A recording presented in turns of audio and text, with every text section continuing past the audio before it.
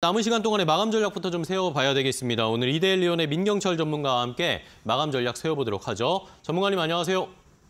네, 안녕하세요. 민경철 전문가 인사드리겠습니다. 네, 반갑습니다. 자, 오늘 시장 코스피, 코스닥 온도차가 좀 심합니다. 삼성전자는 잘 가는데 코스닥이 무너집니다.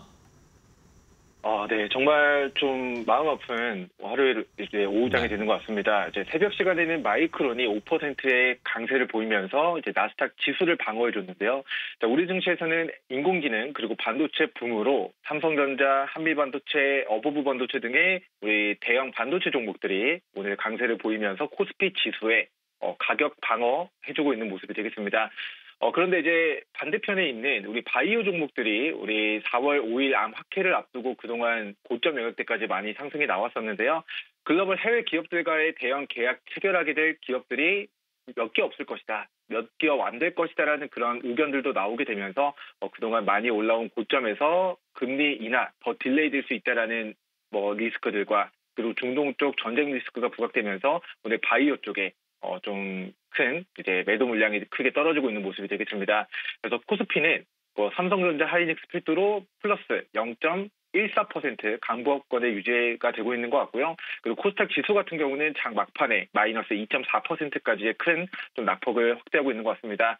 그래서 뭐 삼천당제약, 레고캔바이오, 알테오젠 등의 제약바이오 종목들이 크게 좀 낙폭을 확대하고 있으니까 매도 물량이 크게 오늘 나왔다. 그렇기 때문에 당분간 관망하시고 제약바이오 종목들은 저점을 충분하게 다져질 때까지 관망 의견 드리도록 하겠고요.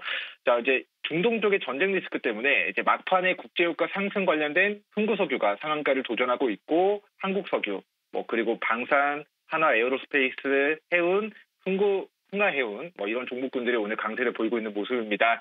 그래서 중동 쪽 우리 전쟁 리스크와 관련된 종목들도 지수가 하락할 때 또다시 테마를 형성할 수 있으니까 이 부분도 체크해 보시면 좋을 것 같습니다. 네, 알겠습니다. 자, 일단은 시장이 조금 흔들리고 있는 상황인데 그럼 마지막까지 어떤 종목 좀 보면서 공략해 볼까요?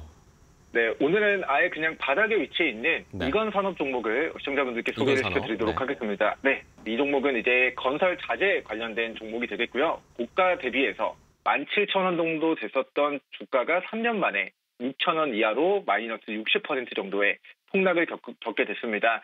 자, 그렇게 5,500원 정도까지 3월달 저점을 다졌던 이건 산업이 오늘 장중에 어, 유의미한 거래대금과 매수세가 일시적으로 유입됐으나 막판에는 보합권으로 오늘 장중에 20% 시세가 나왔으나 종가는 1% 이하의 상승을 보여주고 있는 모습이, 모습으로 확인이 되기 때문에 자, 이 종목 같은 경우는 손절가 5,300원 잡고 매수가 금일 종가 이하로 공략을 하신다면 그동안 마이너스 60%의 선제적인 급락이 나왔고 그리고 마이너 밑으로 조금의 하락 대비 위로는 조금 더 높은 구간대까지의 상승을 누려볼 수 있는 우리 건설 자재 관련주로 소개를 시켜드리도록 하겠습니다. 네, 알겠습니다. 아예 마- 저점에 있는 그런 종목을 좀 공략해보는 전략 소개해 주셨으니까 저희도 잘 마지막까지 이건 산업 지켜보도록 하겠습니다. 오늘 좋은 전략 알려주셔서 감사하고요. 다음 시간에 또 뵙겠습니다. 고맙습니다. 감사합니다.